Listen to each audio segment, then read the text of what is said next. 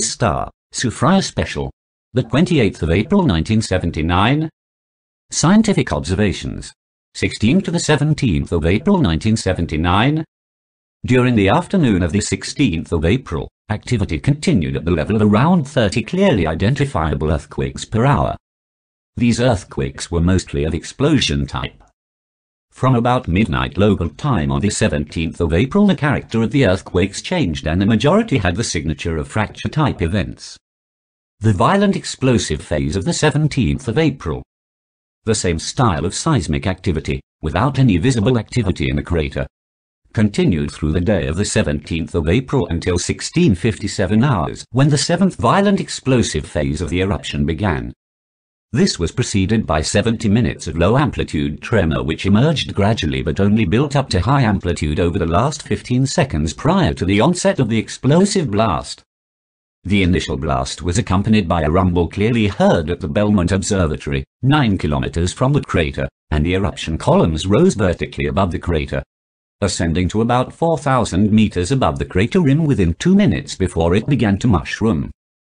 Three minutes after the explosive phase began, pyroclastic flows were seen to descend the Larikai River Valley and continue almost as far from the coast at a distance of 3 kilometers from the crater. This pyroclastic flow covered the first 2 kilometers towards the coast in about 2 minutes and then decelerated.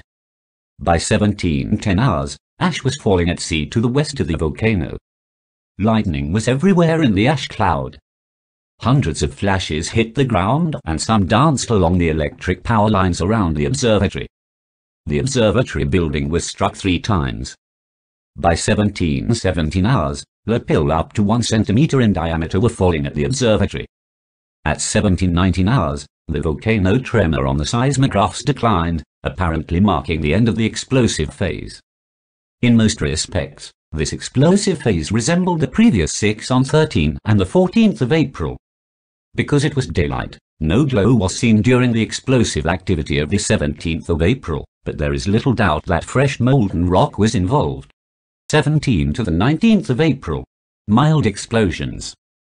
Following the violently explosive phase at 1700 hours on the 17th of April, the volcano became very quiet with practically no earthquakes, short duration, and with only a single period of about 20 minutes of intermittent, low-amplitude tremor during the night at 17 and the 18th of April. From 08 hours onward on the morning of the 11th of April, earthquake activity began to develop again, with continuous background tremor and brief, stronger explosion-type earthquakes of a short duration superimposed on the background. By late morning, mild activity developed in the crater with small explosions, some faintly audible from the observatory, producing cauliflower clouds of steam of which some were lightly laden with ash. By 1100 hours on the 18th of April, earthquakes of explosion type were occurring at about 50 clearly distinguishable events per hour on the observatory seismograph. On seven occasions between 11.18 hours and 12.30 hours on the 18th of April, and at intervals during the afternoon when the crater was visible through the normal weather clouds, Gently swirling clouds of steam were seen to rise to a maximum of about 600 meters above the crater rim. Future installations. The plan to install a seismograph at 800 meters above sea level on the eastern flank of the volcano on the morning of the 18th of April was postponed due to the uncertainty over the behavior of the volcano, and was finally abandoned until the 19th of April. In the evening a third radio-linked seismograph was installed at Richmond Beach. On the morning of the 19th of April the station on the eastern flank of the volcano, at an elevation of 800 meter above Lot 14 was put into successful operation. Summary.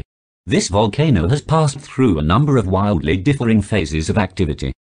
Monitoring is being progressively improved and events are now being followed and documented carefully. The Star, Saturday, April 28, 1979,